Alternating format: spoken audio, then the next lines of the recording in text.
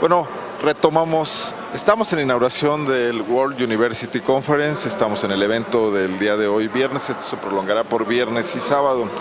Es la oportunidad de platicar sobre un tema que cada vez cobra más fuerza en Guanajuato, por fortuna, cómo eh, romper paradigmas en materia de producción, en materia académica, en la vida económica de Guanajuato en general. El doctor Arturo Lara Martínez, Arturo Lara López, perdón, entrevisté a Arturo Lara hace unos días, tu hijo. Arturo Lara López, secretario de Innovación, Ciencia y Educación Superior en Guanajuato, eh, ha estado en la apertura de, esta conferencia eh, universitaria. Arturo, pues una brecha generacional entre los jóvenes aquí reunidos y nosotros, ¿no? Pero sientes la energía, sientes el empuje de este auditorio. Sí, Arnoldo, mira, sí es efectivamente una gran brecha. Eh, la generación de nosotros aprendía a, usar un equipo, por ejemplo una computadora, después de haber leído el manual y uno sentía como inmoral empezar a, teclear si no había leído a detenimiento el, manual. El día de hoy es al contrario, eh, se aprende usando. Y eh, también el otro tema muy importante pues es el hecho de que esto que vemos aquí en Guanajuato, que nos da gusto, que vemos como en los siete parques tecnológicos eh, la creación de empresas de base tecnológica pues está protagonizada por los jóvenes. Pero esto es, como tú sabes bien, es solamente la punta del iceberg de un movimiento mundial que está ocurriendo en, muchos países y que en todos, eh, invariablemente, pues está protagonizado por los jóvenes. Y vemos cómo esto que comentas de romper paradigmas, pues está ocurriendo en el ámbito internacional en una escala inimaginable. Para mí Nos estamos subiendo apenas esa tendencia, Arturo. ¿Llegamos a tiempo? Yo creo que sí, porque el día de hoy para los jóvenes. Eh, tienen todo un arsenal mundial de conocimiento y de tecnología disponible y en gran medida muchos de sus proyectos consisten en el aprovechamiento ingenioso de esas componentes que existen por todos lados para lograr un efecto y una función. Eso que tú dices hace rato, leíamos el manual para operar la computadora o cualquier otra máquina. Hoy yo veo a los jóvenes que le descubren a los teléfonos celulares o a las computadoras o a las tabletas funciones que ni en el manual vienen o utilidades que, pues, producto de su mayor, eh, no sé, familiarización con este tipo de, tecnología, ¿no? Es un poco a esto a lo que te refieres. Es correcto, es correcto. Y, en ese eh, grado de familiarización, pronto muchos de ellos son capaces incluso de desarrollar nuevas aplicaciones. Eh, eh, entonces, bueno, pues sí es una, gran brecha la que separa a las generaciones. Sin embargo, cuando oímos los testimonios de algunos de los grandes exitosos jóvenes que rompieron paradigmas, pues empezando porque se salieron de la universidad, dejaron de estudiar, se dedicaron a su invento, pues después muchos han regresado a estudiar porque se dieron cuenta que podrían haberse ahorrado muchos dolores de cabeza si hubiesen subido un poco, si hubiesen sabido un poco más de, ingeniería o de física o lo que requieran para, para su desarrollo. Tú eres, has sido un hombre dedicado a, la, a la cátedra a, enseñar también. ¿Están cambiando las formas de enseñar y de aprender, Arturo, gracias a la revolución tecnológica? ¿O en esencia hay fundamentos que no cambian? Bueno, fíjate que sí te agradezco mucho esa pregunta porque ahí sí me tocas una fibra muy sensible.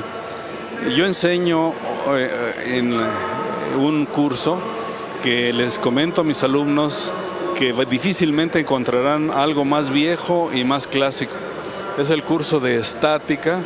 El primer libro de estática se publicó por 1586 eh, y, los principios no han cambiado. Sin embargo, la estática sigue aplicándose en el diseño de robots, en el diseño de naves espaciales eh, en todo. El tema de las comunicaciones. En las comunicaciones. Ahora, ¿cómo aprenden ahora estática los alumnos?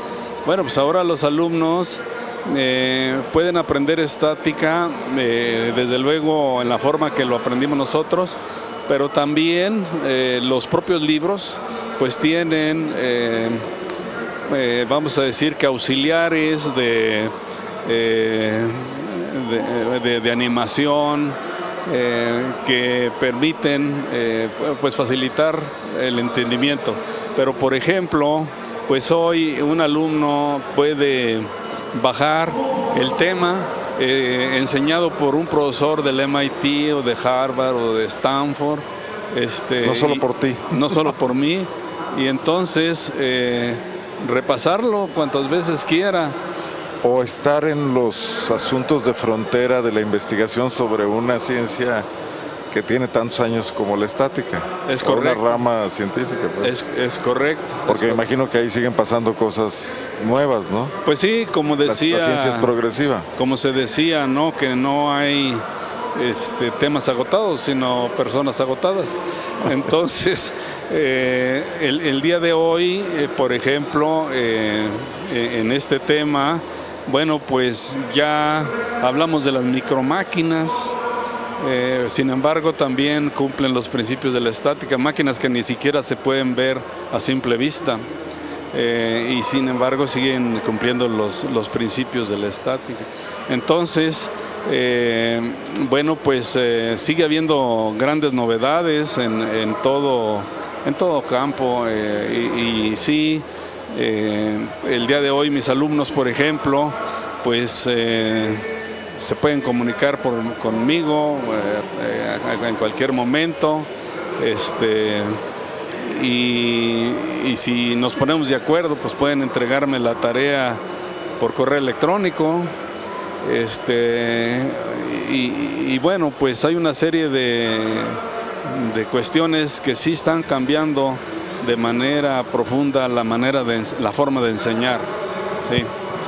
Otra cuestión que me, que me asalta como duda, ¿se puede hacer una política pública para impulsar la innovación o la innovación surge de otro tipo de factores, de masas críticas, de jóvenes inquietos, de no sé, de industrias preocupadas por, por modificar también sus eh, métodos de producir?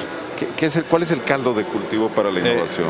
desde luego que lo más importante es lo segundo que dijiste, es decir, que las masas críticas, las tendencias nos llegan y entonces las empresas, los jóvenes, el gobierno empieza a, preguntarse cómo hacer las cosas mejor o cómo innovar. Y yo creo, sin ser un experto en el tema, que es un movimiento indetenible, decir, que esto ya va a ocurrir y que la política pública debe orientarse a posibilitar de la mejor manera eh, la innovación. Eh, es decir, cuando vemos lo que ocurre en estos lugares icónicos de la innovación, como el Silicon Valley, por ejemplo, pues vemos que lo que allí existe es un gran eh, ambiente de libertad, una sinergia de comunicación y cooperación entre los jóvenes, así como también unas eh, empresas líderes, anclas que pues eh, están aprovechando todo ese talento y asociándose con esos jóvenes para llevarlos a, la realización y en beneficio de todo el mundo. Entonces es como un movimiento en todos los sentidos en los que la iniciativa de las personas encuentra el ambiente para que el cultivo pueda crecer de manera exponencial. Y el otro tema muy importante que yo creo que eso sí lo debemos de cultivar, Arnoldo, es algo que nos da trabajo, yo diría especialmente nos da trabajo a los mexicanos, es reconocernos a nosotros mismos. Nos da mucho trabajo pensar que aquí tenemos talentos tan valiosos como los que pueda haber en el MIT o en Harvard o en, el Silicon Valley y, no, nos da trabajo en crear ambientes de glorificación y entusiasmo. De Entonces, colaboración. de colaboración. También de colaboración. También de colaboración. Entonces yo creo que ahí... Somos más egoístas, menos generosos. Menos generosos, O más desconfiados quizás. también más desconfiados, más egoístas. Y, y, nos, no hemos creado la cultura de crear los ambientes de gloria y de entusiasmo para que eso te dé una sinergia muy intensa. ¿No iba a servir para eso el Sistema Nacional de Investigación, Arturo? Que ya pasaron 20 o 25 años de que se creó, ¿cómo lo, cómo lo ves? ¿Hace falta renovar? El Sistema Nacional de Investigadores. Bueno, mira, yo fui investigador nacional desde 1984 que se fundó hasta como 2005 o algo así, que tuve que pues, dedicarme de lleno a la rectoría de la universidad. Eh, no, yo creo que el Sistema Nacional de, Investigadores hace la tarea para la que fue diseñado de manera muy buena, porque reconoce el, trabajo eh, científico, eh, también obviamente el trabajo tecnológico y bueno, pues esto en el momento que se hizo, nosotros recordamos que México pasaba por una situación en la que se estaba viendo un gran éxodo de investigadores del extranjero. Eh, sin embargo, era otro México. Las universidades de entonces no tenían los cuerpos académicos que hoy tienen. Y entonces la evaluación era una cuestión que a lo mejor hecha en el interior de las universidades, eh, pues causaba cierto temor al gobierno federal pero se creó el Sistema Nacional de Investigadores para asegurar una evaluación imparcial, de alta calidad, con evaluadores muy selectos y, todo esto funcionó bien, funcionó bien. Sin embargo, el día de hoy, las evaluaciones en el interior de las universidades públicas estatales, por ejemplo, son igualmente rigurosas y eh, ya existen los cuerpos académicos como para hacer unas evaluaciones totalmente confiables y, generar una gran competitividad. Entonces, pues eh, sí hay que repensar el día de hoy el tema del Sistema Nacional de Investigadores. Alguien me preguntaba, oye, ¿tú cómo crees que contribuye a la innovación? Yo le decía, bueno, el Sistema Nacional de Investigadores se hizo para apoyar la investigación científica, la investigación tecnológica, pero la innovación se realiza en la industria se realiza en la empresa, se realiza en el barrio, la, innovación social. Hasta que no tenemos un producto o un servicio, no, hemos logrado la innovación. Entonces, en el Sistema Nacional de Investigadores no hay participación de esta parte de la innovación. Entonces, eh, sí apoya la innovación en sus etapas, vamos a decir, previas a que se logra el fin último, que es la creación de un bien o de un servicio. Digamos que no, todas las ideas académicas o científicas se traducen en, un impacto directo en la vida de la gente o a corto plazo puede ser. Es, correcto. Eh, muchas de las ideas, eh, digamos, de la ciencia más inútil que uno se puede imaginar y que forman una bella cultura, pues al paso del tiempo se, se transforman en grandes revoluciones. Un ejemplo sería la energía atómica. Sí, que lo digas. Te pregunto finalmente, Arturo, las universidades de Guanajuato también, desde tu secretaría, coordinas el esfuerzo académico de nivel superior. Sí. ¿Cómo estamos en esa materia? ¿Vamos a la par del crecimiento que se hemos visto en otros aspectos de la, de la vida de Guanajuato, como es, por ejemplo, esa transformación productiva que estamos viviendo?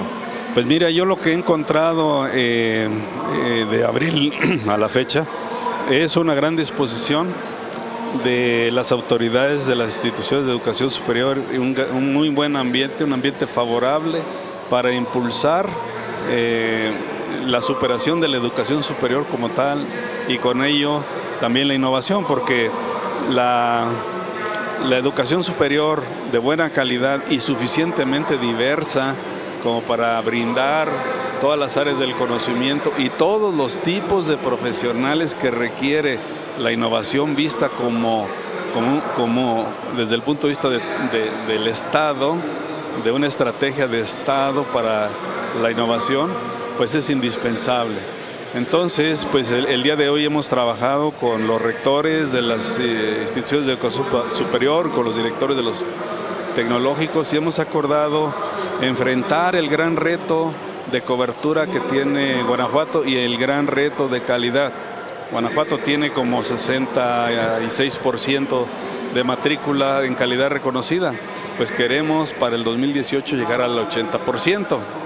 Y, y, a eso pues las universidades se han sumado y también en materia de cobertura cada una de ellas tiene una estrategia para avanzar en cobertura de manera muy importante, en gran medida aprovechando precisamente eh, la tecnología de la información.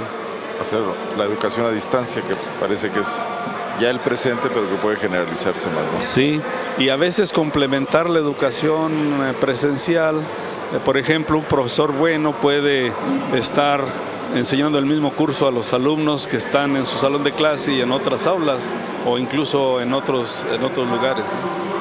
Eso se llama este, también eh, maximizar los resultados del esfuerzo, ¿no? Arturo, muchísimas gracias. Te vamos a dejar porque prosigue el evento y tú tienes que estar ahí atento a las conferencias que vienen en World University Conference. Muchas gracias Arnoldo, te agradezco mucho eh, esta entrevista y que estés compartiendo este evento. Aquí vamos a estar transmitiendo prácticamente todo el día de hoy. El doctor Arturo Lara es el secretario de Innovación, Ciencia y Educación Superior del Gobierno del Estado de Guanajuato. Continuamos.